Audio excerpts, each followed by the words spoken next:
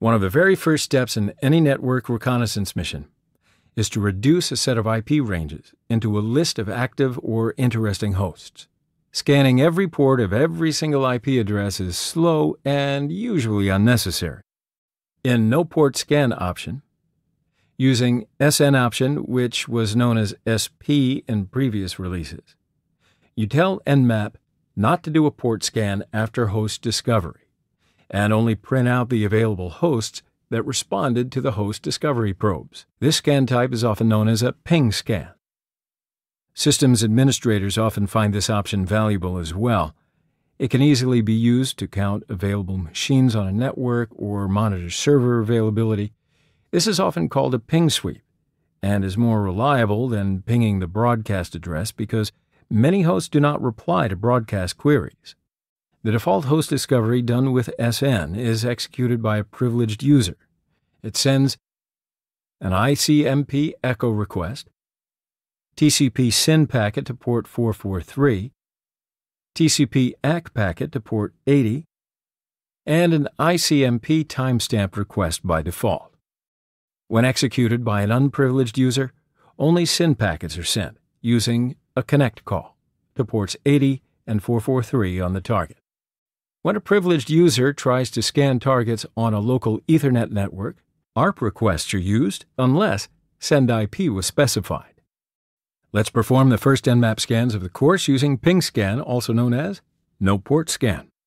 Nmap is embedded in Kali and defined in the path, so you can run Nmap from anywhere just by typing Nmap in a terminal screen. When you type Nmap and hit Enter, you get the help page of the Nmap. You can also look at the man page by typing man nmap to learn more. Let's build an nmap command to perform a ping scan.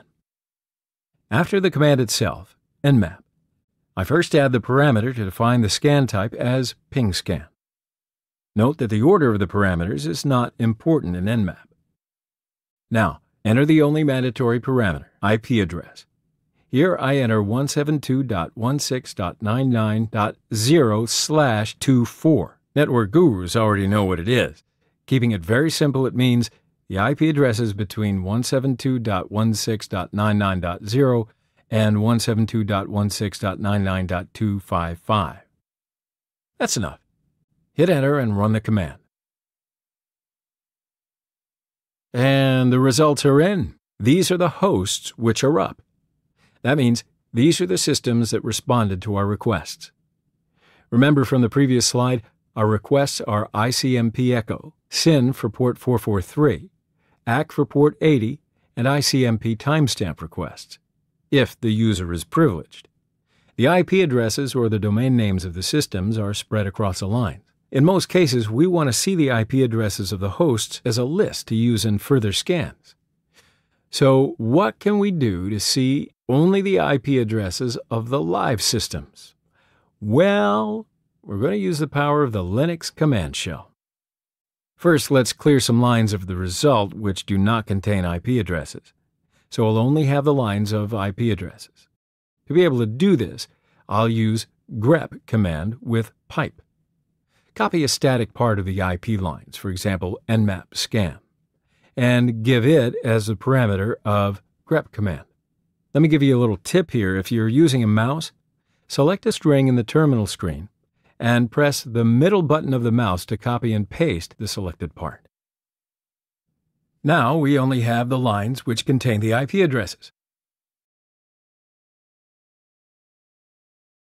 But wait a second, we have a domain name of a host. Let's get rid of the domain name and see only the IP address of it. In nmap command, add dash "-n parameter to avoid the name resolution, so nmap will display only the IP address. Now we have the lines with IP addresses. Now the second step is to clear the words in the lines to have only the IP addresses. To do this, we'll use the cut command of the Linux shell. Type cut. The delimiter here is the space character. Give it with the D parameter. IP is the fifth field of the line give it with F parameter. Now we have the IP list of the live hosts.